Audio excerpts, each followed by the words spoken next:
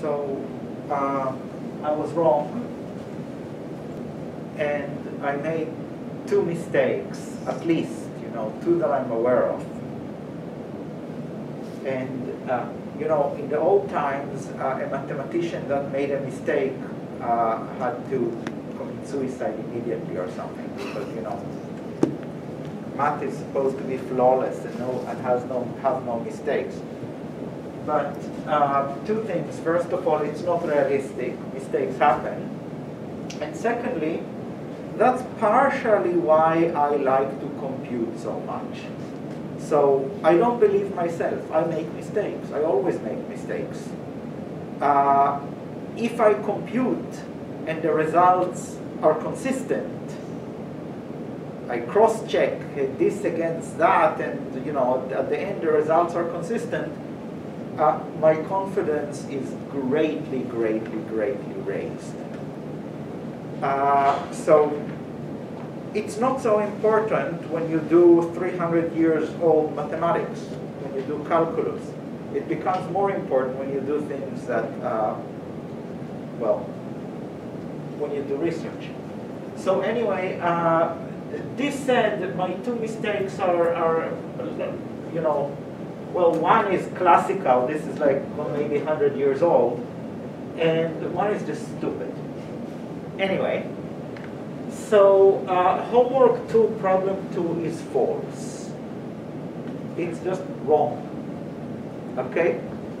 Uh, and uh, uh let me explain what was supposed to be the proof, uh, and then also why it's wrong. Okay? Uh, and I actually thought the proof was right because I, you know, didn't see something. So the problem stated that uh, the difference in genus is less than or equal to the Gordian distance. And the obvious way to prove it is to show that if you make a crossing change, the distance, the, the, the, the genus changes by at most one. If you make a single crossing change, then the gen, genus changes by at most one. And here's the lovely proof. So the lovely proof is so suppose I want to make a cross a, a, a, a crossing change to this crossing. Okay? So um, uh, and suppose I already have a Seifert surface for this uh, knot. I want to construct a Seifert surface to the knot that you will get after the crossing change, uh, uh, which will be at most genus 1 different. Okay? So that Seifert, the Seifert surface of this knot uh, is going to have a kind of uh, flaps, I don't know what to call it, sides uh, that uh, uh, parts whose boundaries are this um, this this edge and another part whose boundary is that edge. I'm drawing them as if one comes from the left and the other comes from the right. You can make similar drawing in other cases, or you can bend them, twist them. Locally, it, it, you can make it be this way. Uh, so now, uh, I want to flip this crossing. The way I will flip this crossing is I will add two twisted bands. So I will add a twisted band uh, going this way and another one going uh, uh, uh going, I think, the same way actually. Uh, yes. Okay? So I've, I would, so I'll add two twisted bands. Now, first of all, adding two twisted bands, you can check adding two bands at most adds one to the genus. So the genus changed by at most one. Uh, but also, by doing this, now I can do a, oh no, sorry, sorry, sorry, I wanted it this way. Right, uh, sorry. So now I can do a Reidemeister 2 move here, and what I'm left with is the opposite crossing. So I flipped the crossing, and the genus changed by at most one, QED. Okay, what's wrong with that, and I admit that I failed to see it, uh, you see, um, there might be other um, parts of the surface, other membranes that pass between the two layers, right? I, I really have sort of the blue flap and the red flap. What if there are more uh, parts, other parts of the surface that pass in between, then I cannot add these uh, twisted bands without creating intersections.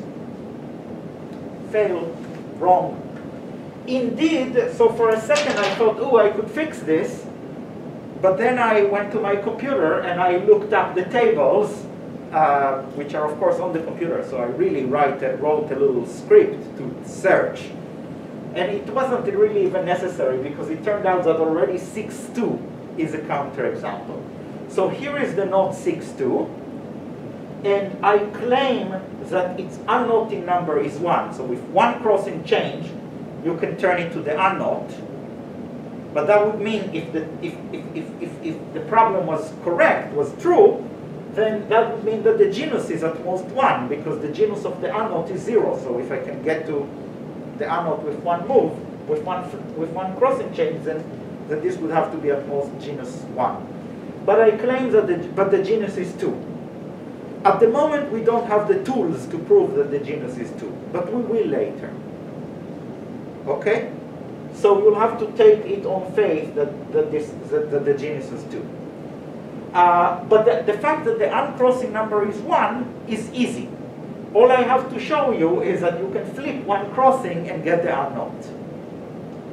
So take this crossing, this is 6-2, and flip, sorry, this is 6-2, and take this crossing and flip it, you get this. It's actually not obvious that this is the unknot, but if you look at it for a little while, it is. So basically, you can flip this kink over, right?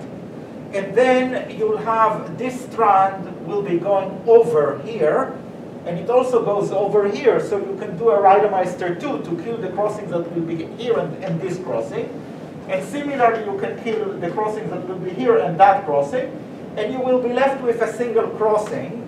So you will be left with a picture like this, and this is again the unknot by uh, twisting a kink.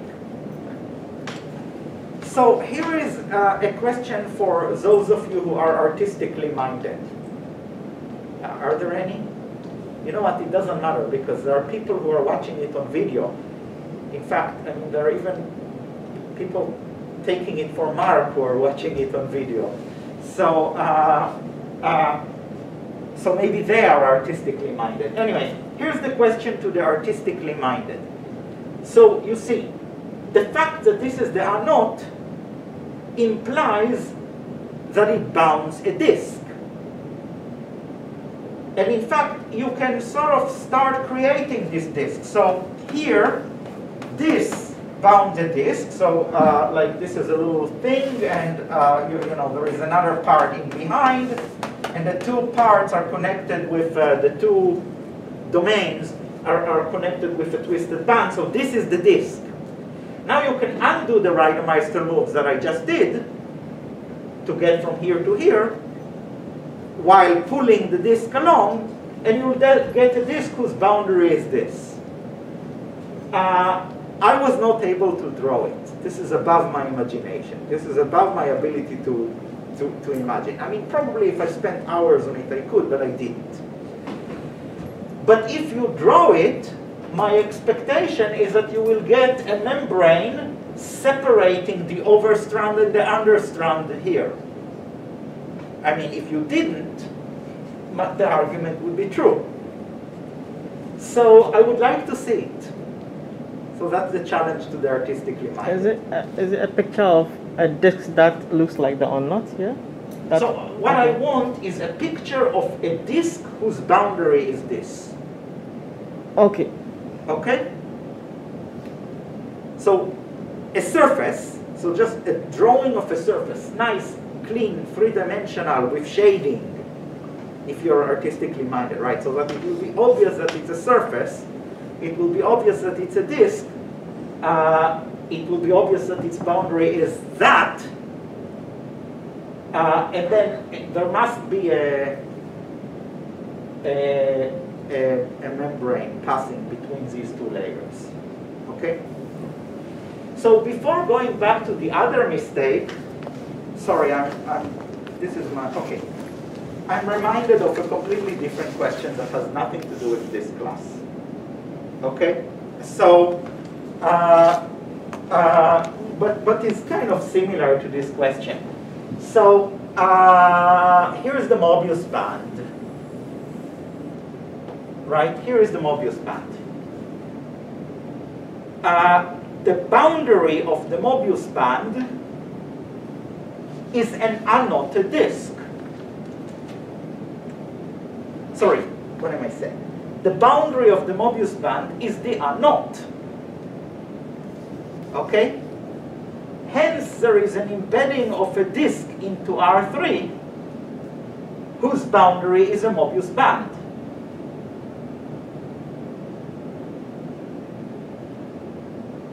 Sorry, whose boundary, sorry, what am I trying to do? What am I trying to say? Sorry, sorry. Sorry, I just said completely wrong things. Sorry. The boundary of the Mobius band is the unknot. Now I can deform this knot, this unknot, to a, to a circle and then pull the surface along, along with me. Okay? So it's exactly the opposite of what I said. What I wanted to say is, so, so then you will get a Mobius band, a, a Mobius band whose boundary is a geometric circle. So uh, challenge, question, this is also for the artistically minded. So draw a Mobius uh, band, so a surface homeomorphic to a Mobius band uh, in R3, and I mean embedded, so not self-intersection, whose uh, boundary is not just a topological circle, but a geometric circle. A geometric uh, circle. It's not how Mobius bands are usually drawn. So it's kind of a fun question, and it's of a similar spirit. Okay, so that was one mistake that I made. The other mistake that I made is, uh, and this is equally stupid, uh, I, uh, I said that if you drop Reidemeister 1, uh, uh, sorry, if, if you want to, to look at frame knots, then uh, uh, then you drop Reidemeister 1, but you have to put another relation instead. And the relation I wrote was this. And this is wrong. Sorry, the relation is that. So this relation also holds for frame knots, but as we said, it's a consequence of Reidemeister 2 and Reidemeister 3. In fact, you can just sort of, you can somehow, you can see, you can slide it around. And we, we went through it. So this one follows from Reidemeister 2 and Reidemeister 3, so there is nothing to impose. But this relation, uh, so first of all, you can make it with a band and you can check that it holds.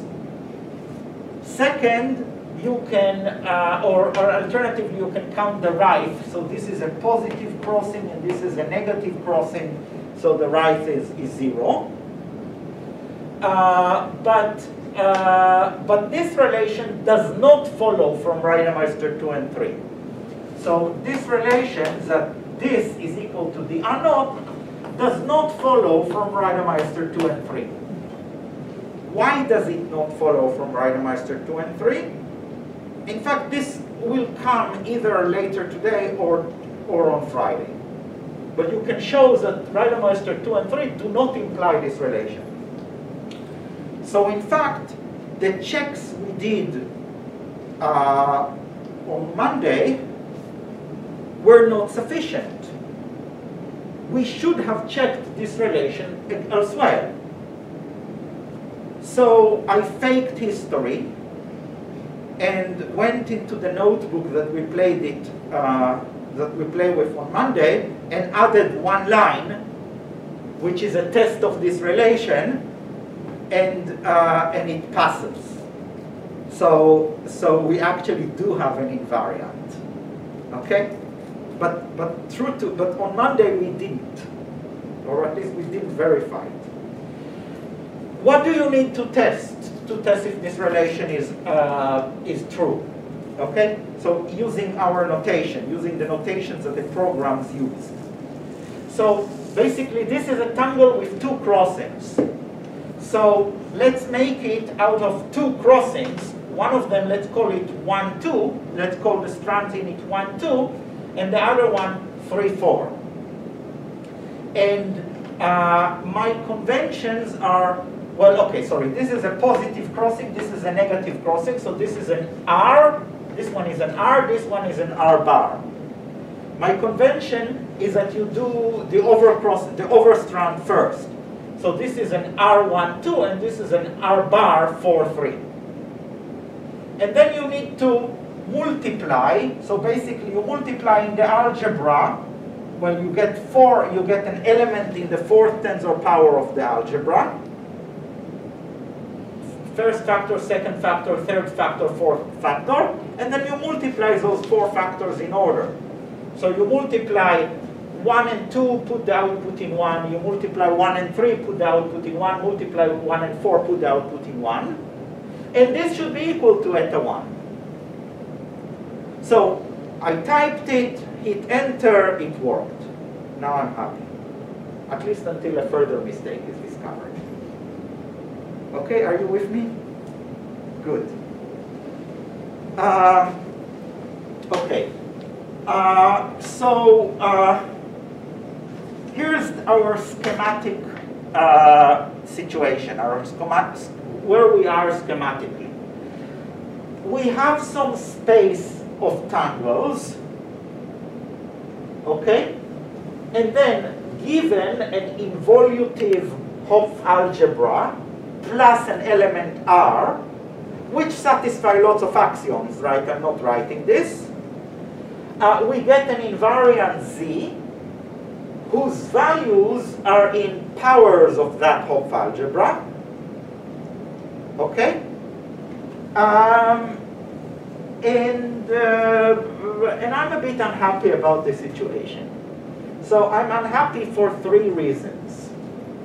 So one reason is that this is slow. Well, hopefully we will cure that later.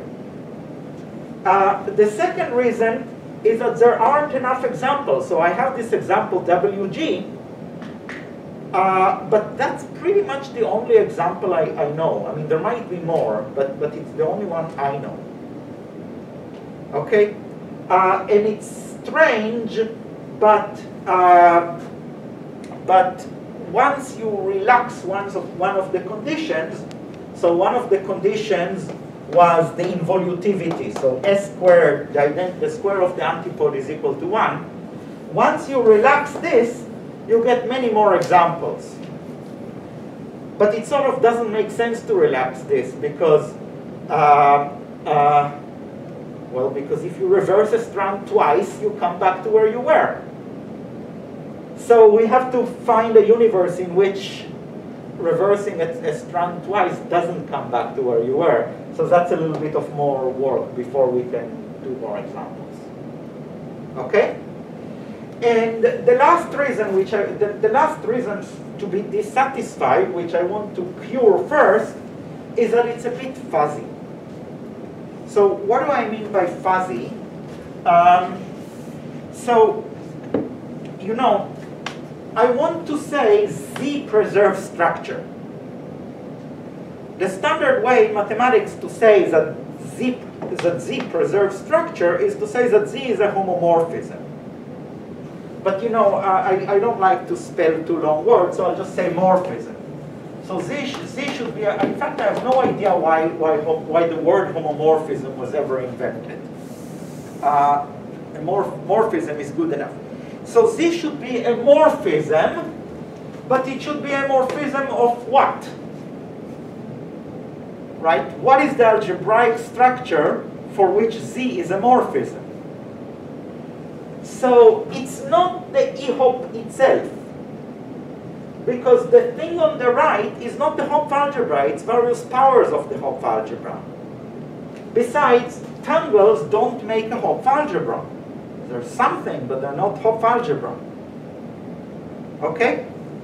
Uh, so, uh, uh, um, what I want to say is that this is a morphism of meta Hopf, sorry, meta involutive, involutive, uh, and we will drop the involutive later. So meta-involutive Hopf algebras. This space on the right is a meta E-Hop, and the space on the left is also a meta E-Hop. And, uh, and that's the correct kind of algebraic way to say what we have okay? Except it's not tangles that are meta, meta but virtual tangles. And in fact, the, everything we do extends to, so far, everything we do extends to virtual tangles. Whatever that is.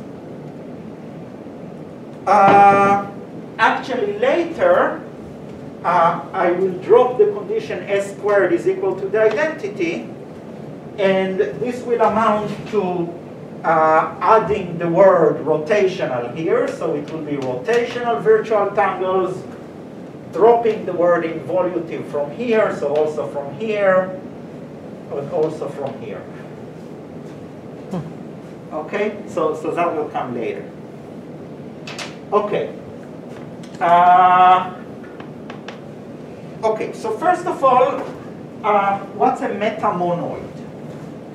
Okay, sorry. So, uh, you know, um, Kashin, yeah? would it be dropped from here as well? Uh, uh, yes. But sort of, so I'm going through, I'm, I'm going through the machine as we know it now, and later, later we will modify it a little bit. Okay? Uh, so, um, you know, Hopf, a Hopf algebra is a complicated thing. It's an algebra with a co-algebra structure, with some compatibility rules, blah, blah, blah. So let's start with a meta, with a monoid. Okay? So, uh, uh, a monoid is a, right, so a, a, monoid is just something with a multiplication. Later I'll, I'll kind of add stuff to it. So, a monoid is a, a a, a, a, basically a group without inverses.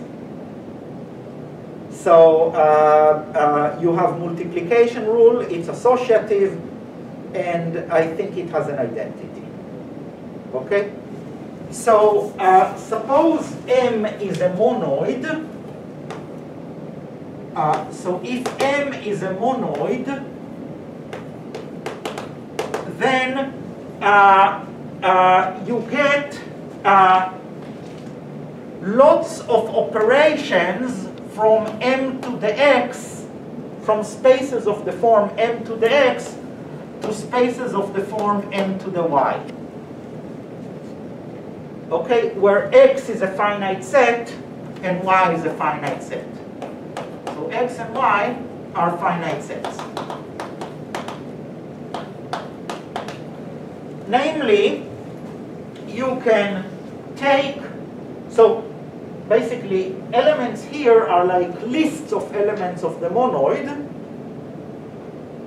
and uh, but but the elements of the lists are labeled by by are indexed by a set X.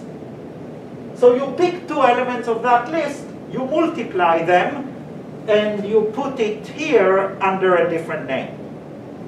So there are operations, so basically if you look at the collection of all things m to the x, you have operations like m, i, j, k, which are the take the element, well basically take the element labeled i and the element labeled x, multiply them and put it in position, so, uh, sorry, i, j, and put it in position k.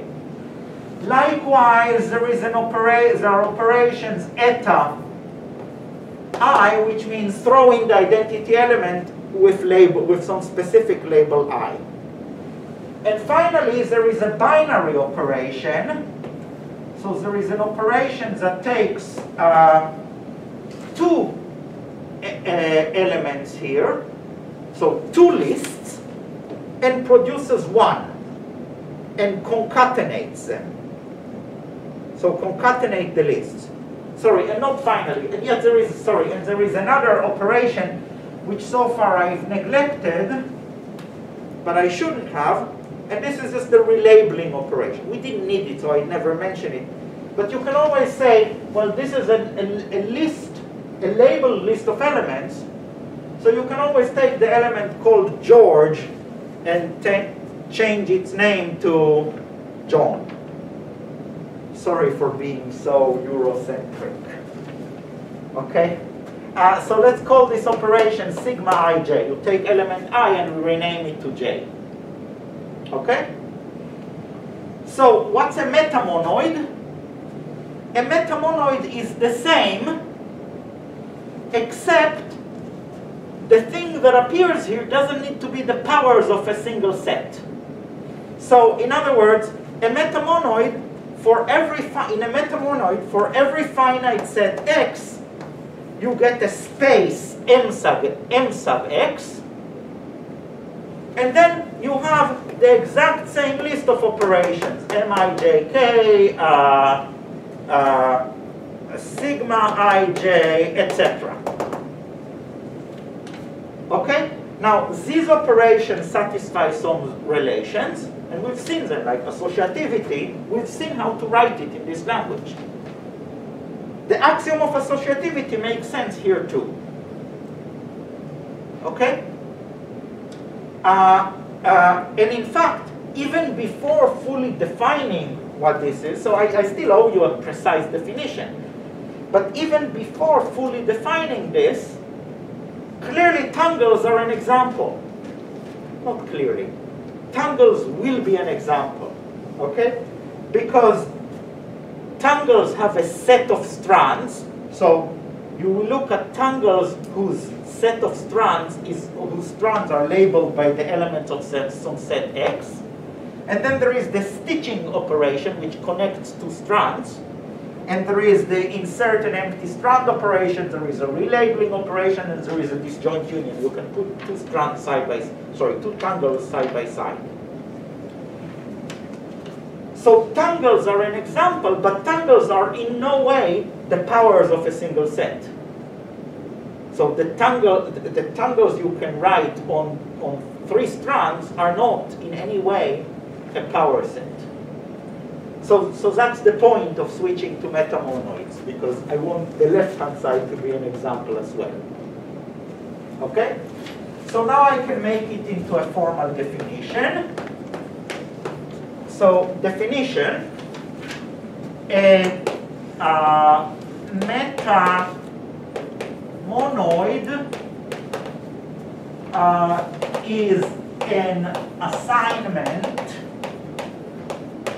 uh, from finite sets into sets which I will denote uh, x, sorry, this one is dead, which I will denote uh, x goes to m sub x uh, along, oops, sorry, along with uh, ops as follows. So uh, let's start with the stupidest, the relabeling. So uh, if I is not a member of some set X, I have a relabeling operation sigma i, sorry, if i and j are both node elements of some set X, then I have a relabeling operation sigma ij, and this is an operation from mx union i to mx union j. Sort of the way of saying that it changes i to j is to say that that you have a set x of things it doesn't touch, and then if you look at m of x with i, it, it, it maps it into m of x with j. I didn't yet say axioms. These are still the operations. There will be axioms as well. Two, uh, if uh, i is different is different from j, and you also have a k, and all three of them are not members of some set x, you have an operation MIJK uh, going from m x union i and j into m x union k. And notice, notice my convention, and this will forever be my convention, that uh, uh, uh, the, the, well, the indices that disappear are, are, are at the top, and the indices that are created are at the bottom. So MIJK is an operation from Aij, or X union Ij, to X union K, okay? Three, uh, there is an operation eta i. I don't need to write uh, what it is, because my convention explain it. But still, let me write it. It will be an operation from uh, mx into mx union i. This is on the assumption that i was not a member of x. Was it? Okay? And finally, there is a disjoint union operation. Sorry, a, a, a, a union operation. So an operation union uh, going from mx uh, cross my into mx union y, but this is provided uh, uh, x is disjoint from y. So if you have disjoint, set, sorry, equal to the empty set if you have disjoint set of labels, you can uh, concatenate lists and there is no ambiguity about the labels. Otherwise you have two elements. I mean, if x and y are not disjoint, uh, then uh, like you can't you can't even work here because you'll have two elements with the same label. So uh, so this is the third axiom. And by the way, this operation is also often denoted by dot, multiplication. And this is a binary operation, and all the other ones are unary. Okay? But of course, now I need to give you the axioms, such that. And the axioms are essentially all the axioms that hold here universally. Just copy them. Okay? Uh, but uh, if I really, uh, and I don't want to write all of them, but let me write them uh, a, somehow uh, schematically. So first of all, there are relabeling axioms. So uh, sigma ii is equal to the identity. If you relabel, you know, if you change the name of somebody from uh, Muhammad to Muhammad, uh, you've done nothing. Uh, sigma ij followed by sigma ji is the identity. Uh, right, if you change the name from i to j and then from j to i, you've done nothing. Uh, sigma ij followed by sigma j jk is equal to sigma uh, ik etc. Uh, then the, the re relabeling axioms interact well with all other operations. So uh, if you uh, rename i to i prime, rename j to j prime, and then uh, multiply uh, i prime with j prime, calling the output k, and then rename k prime, sorry, calling the output k prime, and then rename k prime to k, then this is um, mij right? Just renaming and then multiplying and then, well, I, I don't say and similarly, etc. So similarly with eta. And similarly with the disjoint union. So if you rename one of the elements here and then take the disjoint union, you get, uh, uh, sorry, the multiplication, the product. If you rename one of the elements and then multiply, it's the same as uh, multiplying and then renaming. So basically renaming acts like renaming. Uh, okay, so that's one set of axioms. And then in addition, addition, uh, the disjoint union operation is in itself associative and commutative. Yeah. So uh, this operation is associative and commutative.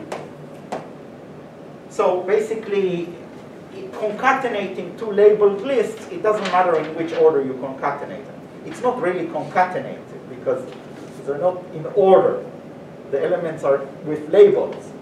So it's more taking the union of two dictionaries, it doesn't matter in which order the two dictionaries appear.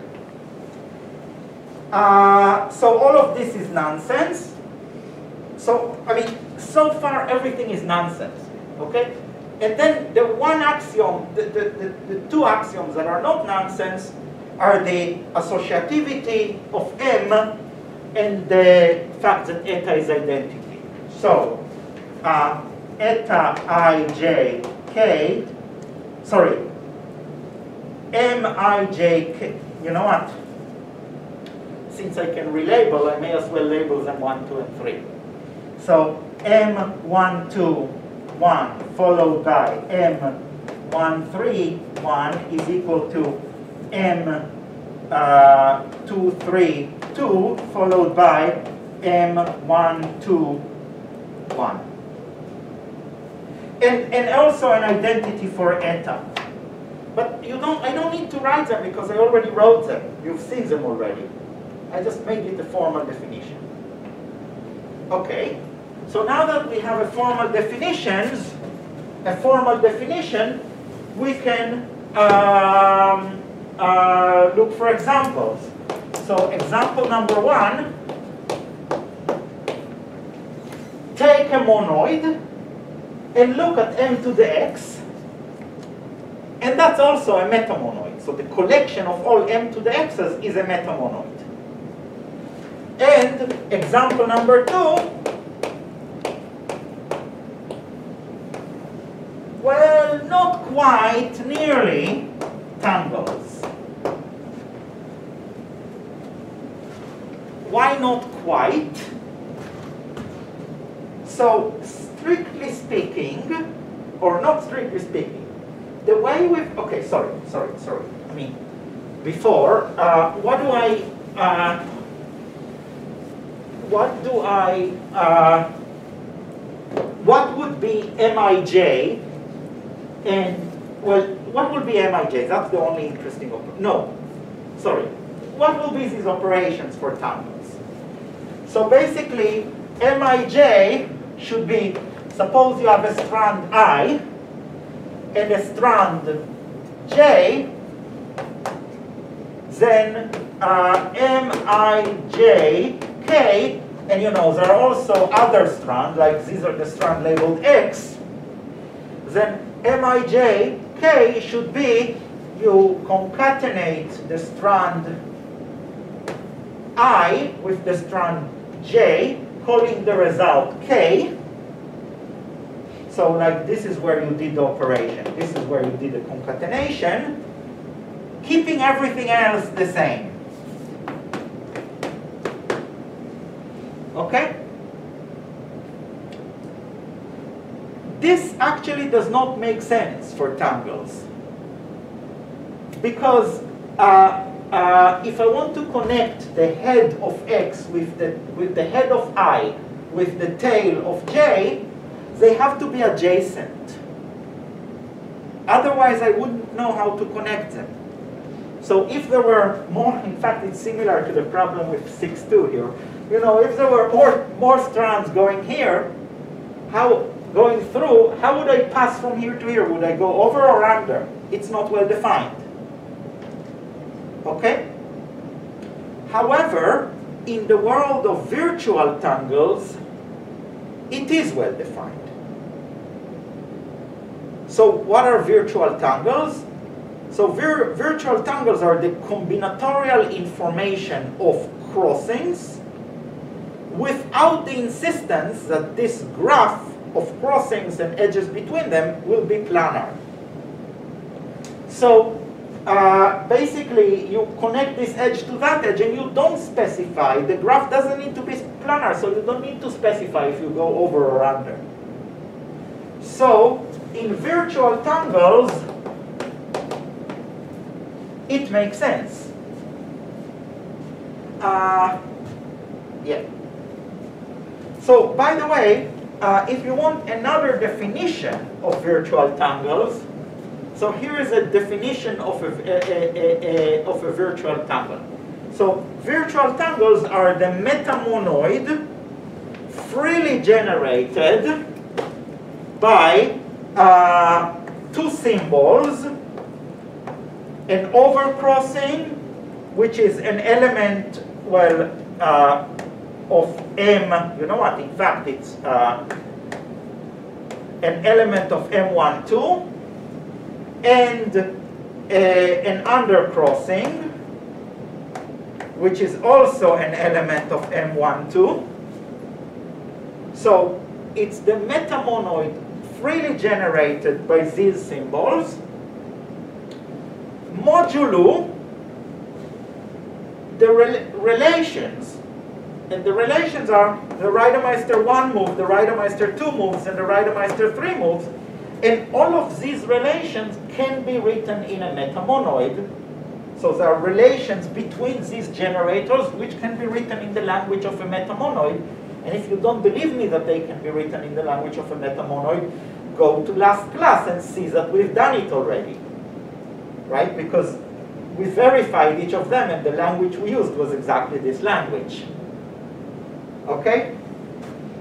Uh, so these are, so, so, so basically you, you, you, so by, by applying uh, MIJK operations, also known as stitching operations, so by applying stitching operations to these two generators, you can stitch arbitrarily complicated graphs. Sorry, by applying disjoint union, of union operations and then stitching, you can make arbitrary big graphs and then you mod out by exactly the relations of uh, of uh, that you mod out by. So, so, so, so this is literally the the same.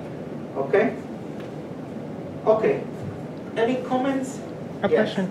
Yeah. So after doing all these things in the virtual tangles I and can't hear you. Say it again. after doing all these operations in uh, virtual tangles Yeah. and sort of maybe dropping, would it still make sense in tangles? I'm not sure what you mean. It's- Sometimes some virtual tangles are tangles, Yes. but not all.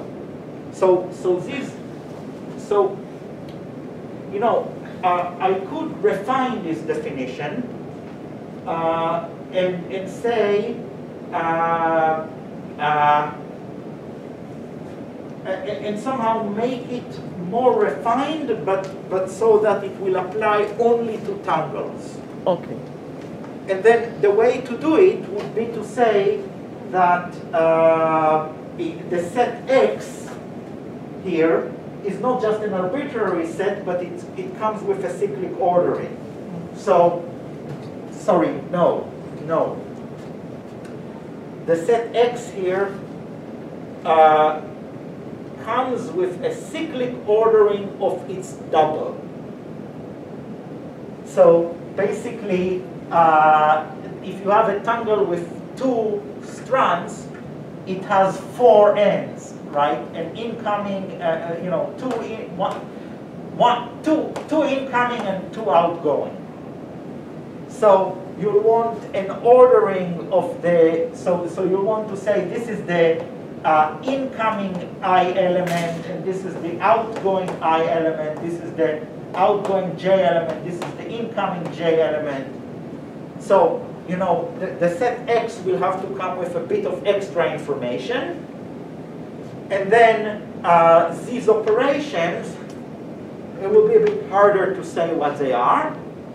But in particular, the stitching operation will be defined only if the I and J here are neighboring, or more precisely, if I1 neighbors J0. If the output from I is, is, is adjacent to the input for J. So you could make a vastly more complicated definition, and then you restrict your attention to, to tangles. So, by the way, you can ask a philosophical question. Uh, is it good that our, okay, sorry, so now our invariant is a, a metamonoid morphism from uh, tangles to uh, h to the x, so to, to the metamonoid h to the x, where h is our algebra. Okay, or more precisely, h to the tensor x. So we have a metamonoid morphism like that. Okay? Uh, sorry, but it's not tangles, it's virtual tangles. You can ask yourself a philosophical question. Is it good or bad that we've extended from tangles to virtual tangles? And uh, the annoying answer is that it's bad, it's not good. You see, your first thought is, oh, it's better. We have a better theory. Not only it, it uh, not only it is defined on tangles, it is actually defined on a wider class of things. But the theory that is defined on a wider class of things is weaker on the smaller class that you really care about. Because you're missing all those theories that don't extend to the wider class. You're missing all those invariants that don't extend to the wider class. So you have a weaker, so, so in a sense, the moment you say your invariant extends to virtual tangles, you're actually saying potentially it doesn't fully see the plane. If it doesn't see the plane, how can we expect it to see three-dimensional things? Okay, so uh, so so there is so, so so that's actually a weakness, not an advantage. But we'll get to it later. We'll we'll we'll we'll, we'll see what we can do about it later. Okay. And uh, well, I'm out of time. But if I had a moment later, a, a, a moment further, I would tell you how to define a meta e-hop. But you already know. It's completely obvious.